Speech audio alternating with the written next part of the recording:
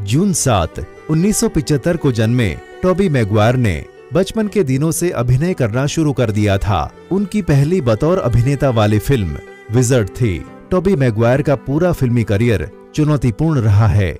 इस अभिनेता को मुख्य रूप से फ़िल्म स्पाइडरमैन की भूमिका के कारण ही जानते हैं, जो उन्हें प्रसिद्धि दिलाने में मददगार साबित हुआ था। परंतु इस एक्टर के टैलेंट को हॉलीवुड वाले ठीक से समझ नहीं सके हैं, जिसके कारण कोई निर्देशक उन्हें अपनी बड़ी फ़िल्मों में लेने से कतराते हैं। यही कारण है कि टॉबी मैगवायर ने अपने करियर में बेहद कम फ़िल्में बनाई हैं। दूसरे शब्दों में कहा जाए तो स्पाइडरमैन की भूमिका अदा करने वाले शख्स टॉबी मैगवायर का अब हॉलीवुड नगरी में विलय हो चुका है।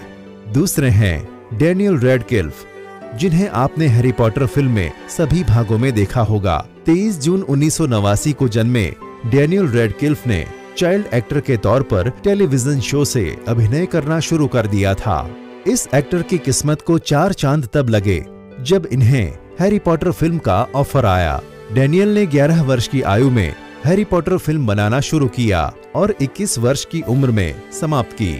लेकिन आपको जानकर हैरानी होगी कि हैरी पॉटर जैसी फ़िल्म में काम करने के बाद भी डेनियल रेडकिल्फ हॉलीवुड में गुमनाम अभिनेता की तरह बन चुके हैं तो ऐसी ही हॉलीवुड न्यूज़ सुनने के लिए मेरे चैनल को सब्सक्राइब करना ना भूलें और बाजू में जो बेल आइकॉन है, उसको क्लिक करना ना भूलें ताकि मेरी नेक्स्ट वीडियोस आप देख पाएँ। दोस्तों, इस वीडियो को लाइक और शेयर करना ना भूलें